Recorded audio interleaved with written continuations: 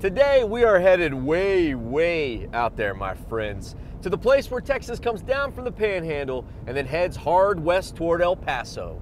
Famed musicians, barrel loads of Texas tea, and the biggest beach you ever saw, but without an ocean. So let's get on the road to Monahans! Yeah,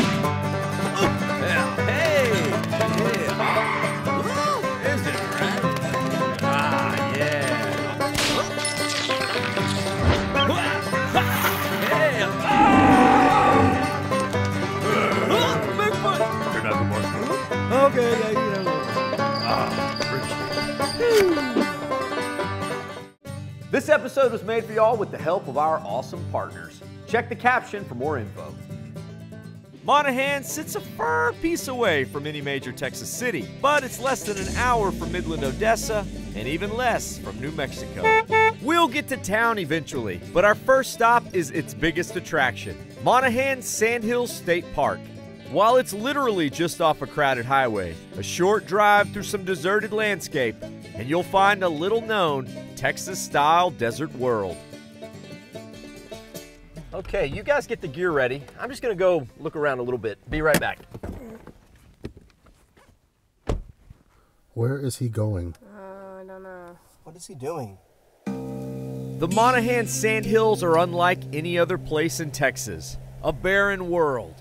Dunes as far as the eye can see, shifting with the winds. It's an untamed wilderness with almost no resources capable of sustaining life. Endless and confusing views at the top of every dune that in an instant can swallow you up and twist your mind until you have no idea where you are. Only the most adapted animals can survive in such conditions.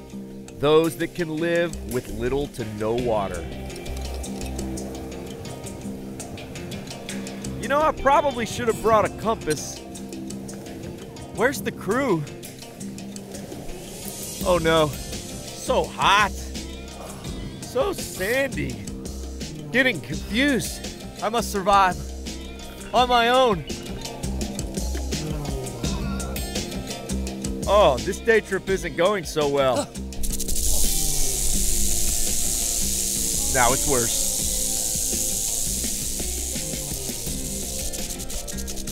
I'm lost. I'm doomed. I'm.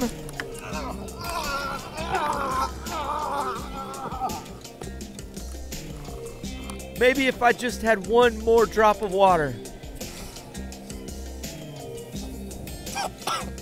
I'm doomed, doomed to perish and join the desert. Ashes to ashes, sand to sand. Oh, dear crew! I thought I was lost forever. Chet, what are you talking about? You'll have been gone like five minutes. That's impossible. Let's... What'd you do to your clothes? Oh, wow. Uh, You guys have any water? Yeah. I told you this place was perilous. I just need a little water. And let's go back out. Only this time, I'm gonna bring the crew. The Monahans Sandhills are actually part of a dune field that extends for some 200 miles, even crossing over into New Mexico. Most of them have plants growing on top, so they're stabilized, but out here, you get this amazing, barren, windswept landscape. Some of these dunes can actually get up to 70 feet high, including one that's appropriately named Mount Everest, about three dunes that away. Let's go see. Every day, this park changes as the dunes shift and shape with the wind. And while camping and hiking are both popular activities here at the park, by far the most popular thing to do is grab a sled and hopefully grab some speed. So, up at the front desk, I'll actually check you out these sledding discs, little toboggans for flying down on these dunes. Polish it up real nice. Let's give this a shot. It's not like snow sledding the Rockies, but it is still really fun. Of course, the crew had to try it out. They didn't come out here just to watch me have fun. Round number two. To try a little bit of a different approach.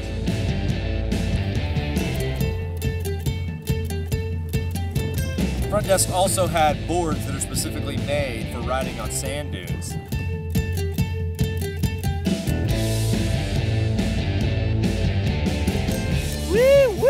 I think I just clocked half a mile an hour.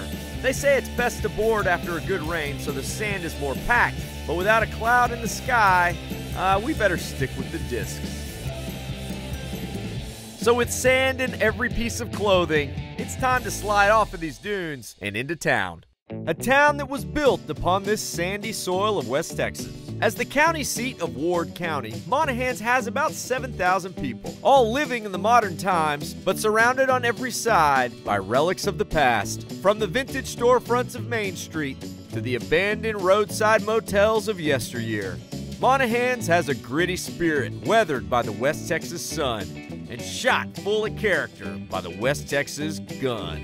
And if you're looking for seasoned character in edible form, look no further than Pappy's. It's West Texas barbecue at its finest that's even made its way to the Texas Monthly Top 50 list. So if you like smoked meat or the smoking guns of old Western films, Pappy's is your place. So you in at Pappy's often? Yes, I come over here from Midland just to eat at Pappy's.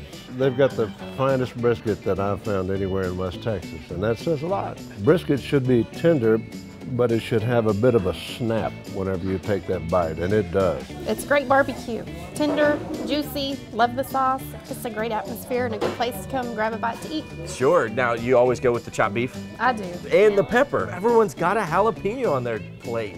Something about West Texas, man. They can take the heat out here. So what brings you into Pappy's today? Chicken and barbecue, man.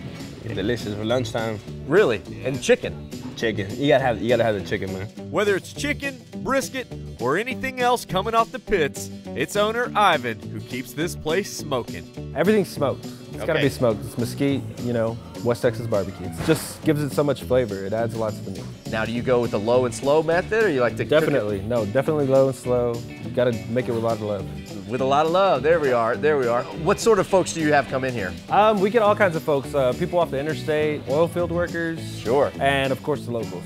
I mean, we've got a map up of like people that visit us from all over, not even just the nation, but all over the world. Well, I better add my own name to that ever expanding map and get to eat. I was back there at the uh, cutting block, and I just went ahead with the plate he recommended: chicken, brisket, ribs, jalapeno beans for sure. Look at how many jalapenos are in there. Y'all should call them jalapenos with beans. yeah, cornbread for sure, and of course a jalapeno on the top. Here we go, the barbecue that many proclaim to be the best in West Texas. I got a three meat plate so I can sample a lot of it. Down here we got some of their chicken, some ribs, and then somewhere underneath here, brisket. Look at it, got a nice uh, smoke ring around it. Seems pretty tender. So it's unusual for so many people at a you know Texas barbecue joint to rave about the chicken. So I had to get it rubbed with some kind of seasoning. Mm, those are my favorite kind of ribs right there. Awesome, solid, smoky flavor. It is just pulling straight away from the bone. Oh, good. Look, a little at table entertainment. Where is the world's oldest golf course? Scotland. I'm going St. Andrews in Scotland. Okay. St. Andrews in Scotland. Bam! Probably the only question in this box I can actually answer, so I think I'm gonna put it back in there. Back to the barbecue. Uh, more than just testing our useless knowledge, let's learn something substantial about Monahans and how this little town popped up in the wild west of Texas. To do that, we're headed to the Million Barrel Museum, collecting artifacts from all over Ward County, some of which are so big they would never fit in any museum, which is why they had to build a museum around it. Here's County Auditor Ellen Fryer for a tour. So this is massive to say the least. Tell me a little bit about what we're looking at. This is the Million Barrel, and it was built by Shell Oil in 1928. Uh, it held a little over a million barrels of oil. They did store it here for about a year. Unfortunately, uh, the barrel leaked. Uh, I think the, the weight of the oil was more than they anticipated when they built it. So they eventually drained the tank and they just didn't refill it and um, abandoned the tank. Oh no, a lot of work went to waste. I mean, this doesn't look like it was easy to build. No, and actually it wasn't. Um, they used uh, horse and mule. The man hour and the time that went into this is just amazing. At one point in the 1950s, a visionary tried to turn this into a water ski park, but since it didn't hold oil, you can probably guess it didn't hold water. But since the county took over, the Million Barrel has become a community meeting place for plays, fireworks, and history lessons. The site also holds the incredibly restored Holman House, one of the first boarding houses in Monahans, and the town's first jail. I think I'd rather stay in the house, just personally speaking. And then there's the Museum for the Rattlesnake Bomber Base, dedicated to the military history of nearby Pyote, Texas, which in the 1940s was home to the largest bomber training facility in the U.S. They trained B-17 pilots until the summer of 44, at which time they switched to B-29. The B-17 crews generally went over to Europe, and the B-29 crews generally went over to the Pacific. And two unique things is the Enola Gay and the Swoose, um, two famous planes, were never stationed here, but they were actually stored out at Pyote um, when the planes were stored out there before they went on to their museums. They came to Pyote to prepare to face enemy fire overseas, but they had to always be leery of the enemy that was right at their feet, as the base was built on top of dozens of rattlesnake dens, earning it its snaky nickname. Still rattlesnakes, there's rattlesnakes on property here. yeah. This is just a really cool museum, with one really cool hole, but lots of really cool stories. You know, there's just something always crazy about the stories of West Texas. And as it turns out, there are some other interesting holes in these parts. Just up the road in Wink, a town so small that, as they say, if you wink, you'll miss it.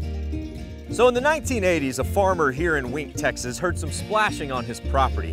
He went to investigate what it was, and he found this right behind me. It's a natural sinkhole that today is some 350 feet wide. A couple decades later, another one showed up that's three times this big, just a little south of here. And today they're known as the Wink Sinks. Sort of creepy that this thing would just basically show up overnight. And no one knows what's causing them. Some people blame it on all the oil exploration in the area. Other people think that it has something to do with the natural caverns here because Carlsbad's not too far away. But uh, I have my own uh, opinion on it. Aliens. Just makes sense. We now interrupt this programming to remind you to like and subscribe. Now back to the road. Hey, Roswell, New Mexico's not too far from here either. But the only thing I'm going to investigate here in this small town is its best museum, dedicated to its best homegrown musician, Roy Orbison. And while this museum may be small, make no mistake about it, you can find big things in small places, just like big stars can come from small towns. So Roy Orbison was actually born in Vernon, Texas, which is around Wichita Falls. But from the time he was about eight years old until he graduated high school in 1954, he lived here in Wink. And here is his Wink Wildcat Senior Yearbook. There's the man. By this point, Roy was already the front man of his band, the Wink Westerners. From Wink, Roy moved all over Texas, eventually finding his voice in Nashville, where he recorded some of rock and roll music's most iconic songs. Oh, pretty woman walking down the street. Pretty. Oh no, y'all don't want that one. How about how about this one? Only the lonely bum bum bumby doo wah. It's tough when you have to sing your own backup. Know the way I feel. Anyone? Anyone? Oh, tough crowd out there tonight. I mean, come on, who doesn't love those? Roy's hits spanned decades, touched millions. He was even inducted into the Rock and Roll Music Hall of Fame in 1987, but the very next year died of a heart attack too soon at the age of 52. The man behind the mysterious glasses left this earth, but left behind one amazing legacy. Okay, so these are Roy Orbison's very last pair of prescription sunglasses. So sort of the, the thing that was most iconic to his whole persona, those dark glasses that he would wear on stage. This is the last pair he ever owned, and the ones he wore at his last concert. That's like Smithsonian level stuff right here. Wow.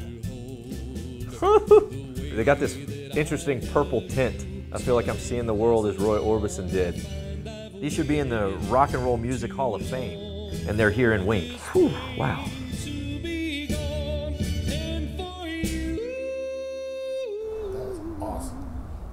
Kind of not much to say, is there?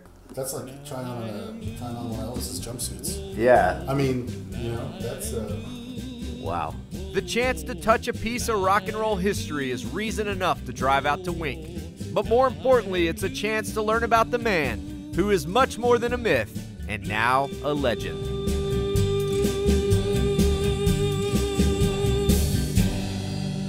So it's time for our third town of the day. It's just up the road, the heart of Winkler County, home of the Yellow Jackets, and goes by the name Kermit. Yes, as in the frog. Okay, so here we are in Kermit, Texas, and you know what I'm thinking. Where's Kermit the Frog? Did someone ask for Hermit the Frog? No, I said Kermit the Frog. Who are you? I just said I'm Hermit the Frog. Oh man, uh, where's Kermit? Is uh, is he available? Kermit, ha! You ever heard of a thing called intellectual property? All you're gonna get is me. So come over here and get a picture with this. Nah, I think I'm okay. Really? Yeah, I'm all right. What about you, sweet cakes? Seriously? Whatever. You're sort of creeping out the crew here, okay? Um, can you do anything? Maybe sing Rainbow Connection, something like that? Sure, sure. I can sing a song for 20 bucks. Gosh, nah, never mind. I'm sorry I asked. I'll do it for 10. Nope, not gonna happen. Not even a duet? Pretty sure. Yep. An audience is waiting. Come on. Whoa, look at the time, Hermit. you, it's flown by so fast. Well, hold on. I got one more good trick. Wanna watch me catch flies with my tongue? No, never, ever, ever. Uh, we're gonna keep moving. Great You're missing out. seeing you. We're, pretty cool. We're good. Wait, wait. Come back here, TV guy. Ah, whatever. If you're looking for a glimpse of the lovable green guy, all you'll find these days are a couple faded murals. But we aren't here to connect with rainbows or eat frog legs. We're here for more sand, which is just outside of town at the dunes at Kermit. While some dunes are meant for serenity, these are meant for adrenaline. It's a family business for full family enjoyment. old to young, uh, beginners to experts. Uh, they ride uh, all kinds of different vehicles. They ride motorcycles, four wheelers, dune buggies, side by side, UTVs, anything that, that to make it in the sand. People usually bring try to run through the sand. If it'll make it in the sand is the key They'll phrase try. there. They come from all over, often for days at a time, because this is one of the few places in America to do this. you know, just the scenery and the area that we have to ride. It just you you can leave here and be gone for 30 minutes, 10 minutes, or two hours. And these guys have the toys to play for a long time. Now it is BYOB, that's bring your own buggy. But luckily, Steve here, one of the owners, has agreed to take the crew out on his personal little toy. A toy with a V8 engine and sand ready paddle tires. I've never done this before, so uh, this will be fun. Let's see what this baby can do. That ain't gonna stay, brother.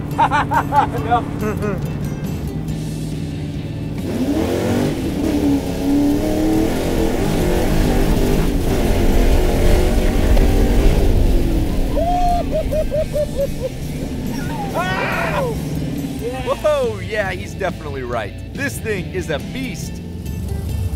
How are y'all doing? Zero to 60 in what? Fast. Fast. Let's ride.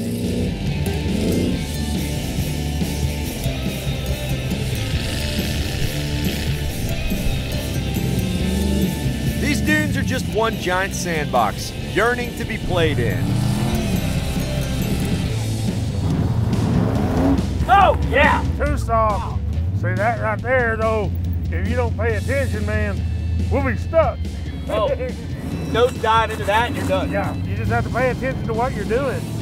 We gotta find a good one to jump. Now we're talking.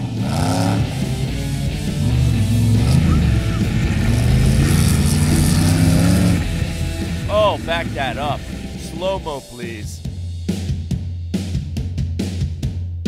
Oh, yeah. Oh, yeah. Let's go run down the trails right quick, because there are some trail rides out here I want to show y'all.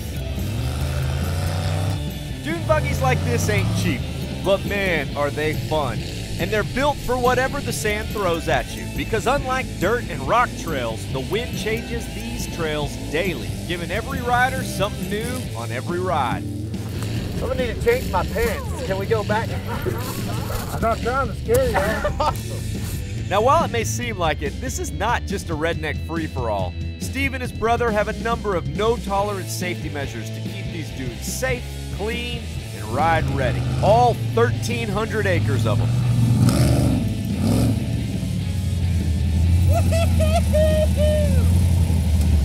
Man, that's insane. It's incredible. Look at your hair. From this. Ah!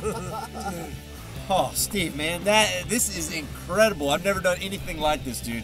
It's a blast. If you come out and try it, and and I hope you like it. If you do, just you're gonna enjoy it for a long, long Forever time. and ever. Let's rip it back home. All right, guys. Thanks for coming out.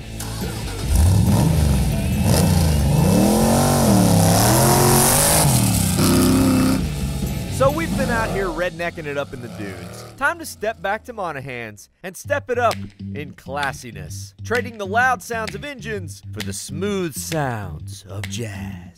This is the Jazz Cafe, bringing you all the great jazzy classics like burgers, pasta, and steak in a jazzy little restaurant owned by jazzy owners John and Kathy Fawcett. How'd you come up with this place? It, it's a genre that's so broad and so wonderful and so absent in this part of the world that we just needed something. Just like their food, in a virtual desert for culinary creativity, Jazz Cafe is an edible oasis. We figured whatever people were driving away from here to go eat, that's how we came up with our menu. We wanted to give them a little bit of everything. It was a big dream for sure, especially when you start with an abandoned theater. It was the Tower Theater, closed in about the mid 50s and just an empty shell when we bought it. it. We worked on it eight years. Wow. You drive through the town and you drive through this part of West Texas, it's a very rugged sort of vibe. And then you step in here and it's like, you know, something that comes out of nowhere.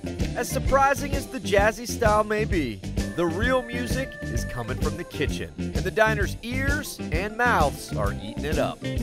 We have watched this come about for many years now. waited and waited and waited, and they finally opened it. And I go, was it worth the wait? It was very much worth the wait. Yes. So, what do you think about this place? That's a great place. It's a neat place to come. It's uh, very different from everything else that we have. We've lived here all of our lives and never had any place this nice to come and eat. Wow. We come here all the time. I've lived here 65 years, so it's a great So, place. you're a Monahans native. Yes, sir. And based upon the native's recommendation, I'm headed for some steak. Ho ho ho, it is a meat kind of day. Barbecue for lunch, steak for dinner. 12 ounce ribeye, cut here in the back, grilled medium rare. All right, steak meat. Whew. Warm pink center. From the first bite in, I know I'm gonna eat this entire steak because every little piece of meat and fat in this is cooked perfectly so it all just kind of melts in your mouth. Buttery, cheesy, bacony. What more could you want from a baked potato? Mm. So you guys know at a restaurant this good, I'm gonna get dessert, especially when the special is an apple dumpling with cinnamon caramel drizzled all over it. It's mine. You can't have it, Richie. I'm sorry. Oh, there's like a whole apple in here. The only proper way to polish off an amazing day is with an amazing dessert. I think we nailed it here. What a day! Whether you're looking for Texas's biggest beach without an ocean, history that's thicker than the oil in the ground, or the sweet sound of music coming from the people and kitchens that call this place home, you'll find it all right here in West Texas. A place with more character than the desert has sand, and this place has a lot of both. Well, this day has just been one little surprise after another. That's why I love day tripping. So I'll see all y'all out on the road. Via con Dios, amigos.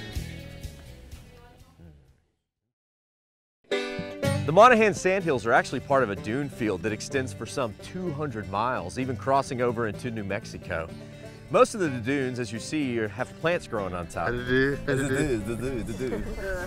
Dune Dude. The dude dudes. You know, in honesty, this doesn't need any sauce, but since Ivan makes his own, I think I'll take it a little, eh, take it for a little, let me try that all again, man. you know, in all honesty, this doesn't need any sauce, but since Ivan, ma- I'm not thinking straight. All right. This lady is taking way too long. She I'm is slowing the line down. I know. Anything to stay close to Everywhere we go, you're there. Christmas. Easter, you're always there. It's creepy. I know, It's like I just as if you like so you're my mom or something. so weird. Weird. She's getting some barbecue from Pappy's Barbecue to bring home to Pappy. Happy said he's not here. Yeah. That's right. Howdy, y'all. Follow along with my adventures at Chet Tripper on Instagram and at The Day Tripper TV on Facebook and YouTube. Or head to thedaytripper.com for travel guides, past episodes, and info on our mobile app and Team Day Tripper. This episode was made for y'all with the help of our awesome partners. Check the caption for more info. Howdy, y'all. Chet the Day Tripper here. Thanks so much for tripping with us. Uh, remember, while you're here, like this video, subscribe to our channel so that we can stay out there on the road and keep on tripping. Did we miss anything in this town? Leave us a comment, let us know. We love finding out about new stops with all your tips. And if you love Epic Texas Day Trips, remember to check our channel. We got a lot of them on there. Also, don't forget, if you want some sweet Day Tripper merch or another cool Texas made product, come see us in Georgetown at the Day Tripper World headquarters. You can also shop online if you check the link down there in the caption. All right, y'all. Bye con dios, amigos.